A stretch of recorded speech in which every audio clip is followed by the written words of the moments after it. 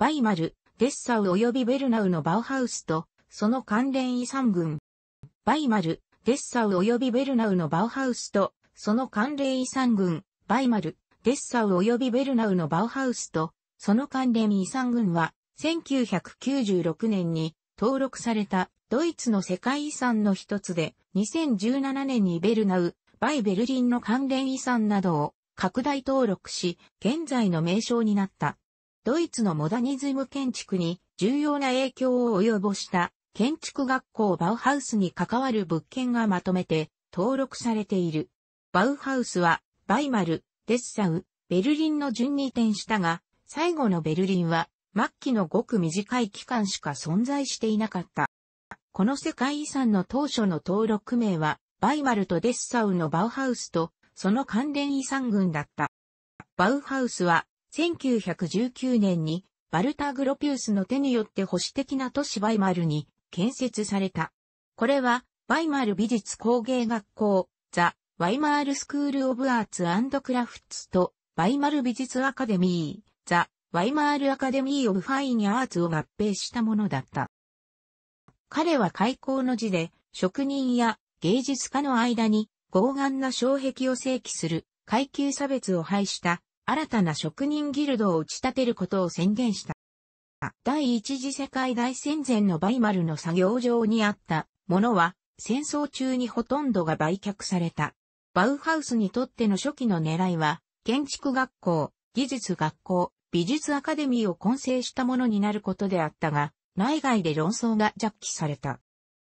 グロピウスは終戦とともに歴史の新しい時代が始まったのだということを説いた。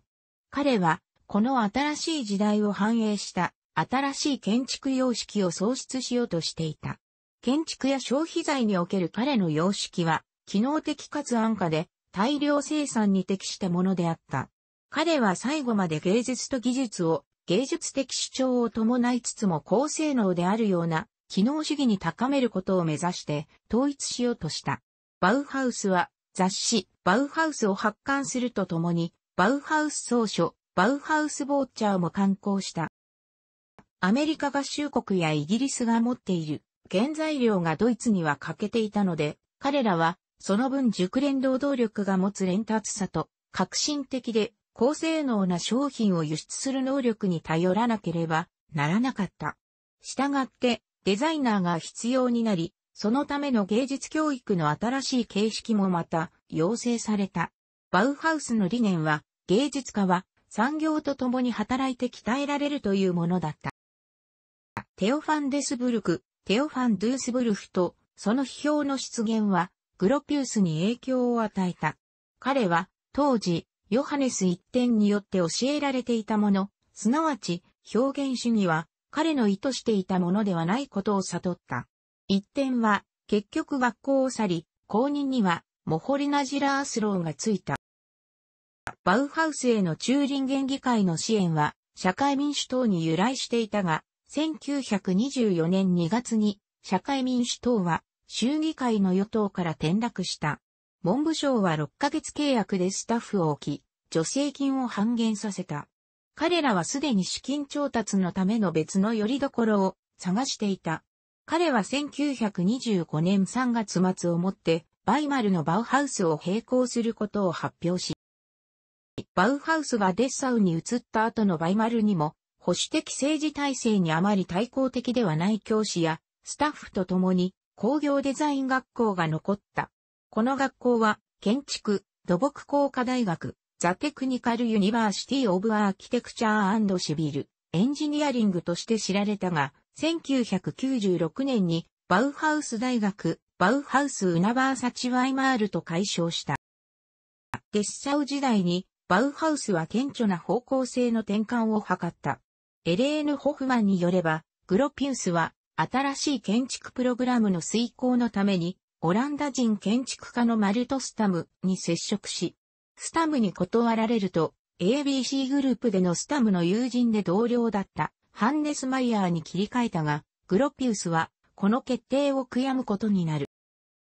カリスマ性を持ったマイヤーは、1928年2月には2代目、学長の座に収まり、バウハウスに2つの最重要な建築物の委託を取り付けた。その2つとは、デッサウの5棟のカタロー化式集合住宅と、ベルナウの全ドイツ労働組合総連合、アドジビーの連合学校本部棟であり、それらは現存している。マイヤーは、顧客へのプレゼンテーションで計測と計算を好み、コスト削減のために、企画品の建築部品を使うことも好んだ。このアプローチは、潜在的な顧客を引きつけ、1929年には彼のリーダーシップの下でバウハウスは最初の収益を上げた。しかし、マイヤーは多くの衝突も引き起こした。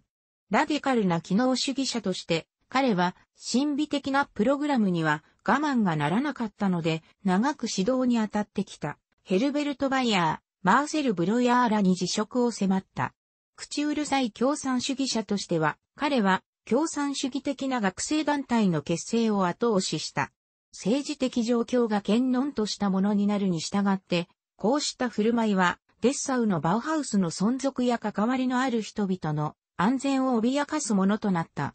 マイヤー自身が生徒の一人と関係を持った性的なスキャンダルで危うくなったので、グロピウスは1930年に彼を解雇した。デッサウのバウハウスも1932年に閉鎖されてベルリンへと移った。ナチもアドルフ・ヒトラー自身も1930年代に確固たる建築理念を持ち合わせていたわけではないが、ビルヘルム・フリックやアルフレート・ローゼンベルクといったナチ、御用達の書き手たち、バウハウスにヒゲルマン的とのレッテルを貼り、恋に公共の議論を引き起こすためにそのモダニズム様式を批判した。1930年代初頭に、彼らは徐々にバウハウスを共産主義者や社会自由主義者らの前線として特徴づけていった。確かに二代目の学長であったマイヤーは共産主義者を辞任していたし、彼とその忠実な生徒たちが1930年にソビエト連邦へと亡命したのは事実である。政治的な圧力の中、バウハウスは1933年4月11日にナチの命令で閉鎖された。この閉鎖についてや、ミース・ファンデルローへの反応などは、エレーヌ・ホーフマンの研究に詳しい。